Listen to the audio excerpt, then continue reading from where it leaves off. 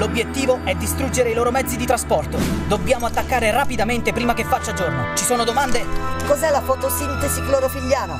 Se è tutto chiaro, possiamo dare inizio all'operazione. Signor sì, signor!